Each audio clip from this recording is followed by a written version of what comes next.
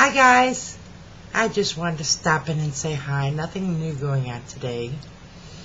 Typical day. I did read an article though that I thought was interesting on from New Zealand on um, the names that people name their children. And listen to these names. These are the ones that they banned. These are names that people actually name their kids. The first one is Talula does the hula from Hawaii. They named their kid Talula does the hula from Hawaii. And they said she could legally change her name.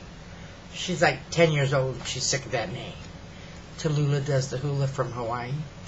And the other names there that they blocked were, now these are names people actually name their kids.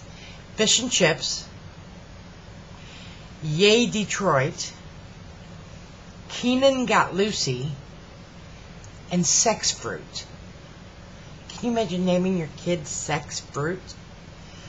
And then there are two names that they, three names, no, two names that they wanted to change, but the government said, no, those are fine, you can keep those names. One of them was Number 16 Bus Shelter. That's the kid's name, Number 16 Bus Shelter. And the other one is Violence. Violence. Anyway, I just thought that was interesting. I had to share that. People are weird. Um, tonight, two of my favorite shows are coming on. I don't know if any of you guys watch Greatest American Dog. Oh, that is the neatest show. It's a reality show with people and and their dogs. It's great. The dogs compete. It's wonderful. And then that's on, in then nothing's on in the hour in between that's any good, I don't think. But after that is Hopkins. That's another new show. I don't know if anybody's watched. It. Um, I happened to catch it the first night. I thought Hopkins. I wonder what that's about.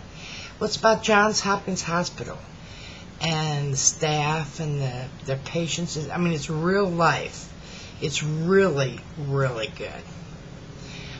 But um, I think it's on after the rerun of Grey's Anatomy or something. But it's real life. It's really good. And that's my phone. So I'm going to go. But I love you guys. There wasn't much more to say anyway. Love you guys. Talk to you later. Bye.